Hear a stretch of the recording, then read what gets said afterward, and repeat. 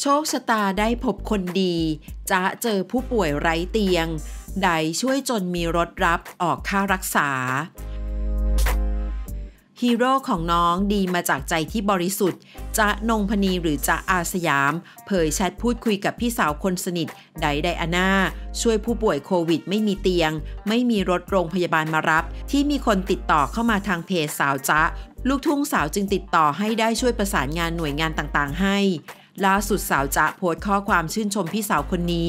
ยื่นมือช่วยจนมีรถมารับเคสดังกล่าว และร่วมกันช่วยออกค่ารักษาให้ เพราะเตียงเต็มต้องหาโรงพยาบาลเอกชนที่ยังพอมีเตียงเหลืออยู่ ผู้หญิงคนนี้ดีมาจากใจที่บริสุทธิ์จริง ๆ เมื่อสักพักมีคนส่งเคสผู้ป่วยเป็นโควิด และไม่มีเตียง ไม่มีรถโรงพยาบาลไปรับ มาให้ที่เพจจ๊ะจะก็ประสานงานกับทางญาติผู้ป่วย ขอผลตรวจ ชื่อไปตรวจที่ไหนและเบอร์โทรศัพท์ พอได้ทุกอย่างมาจ๊ะก็โทรหาพี่ได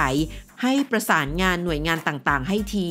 แป๊บเดียวพี่ไดก็ส่งกลับมาว่าจะเราต้องช่วยออกค่ารักษาให้เขา เพราะโรงพยาบาลสนามเตียงเต็ม ต้องตามคิว เดี๋ยวพี่เช็คโรงพยาบาลเอกชนก่อนว่า โรงพยาบาลไหนเตียงไม่เต็ม อันนี้เขาก็หายไปพักหนึ่งแล้วโทรกลับมาบอกว่ามีรถไปรับเคสแล้ว โอ้โห หัวใจอีจะโคตรสบายใจเลย ขอบคุณโชคชะตาที่นำพามาเจอคนที่ดี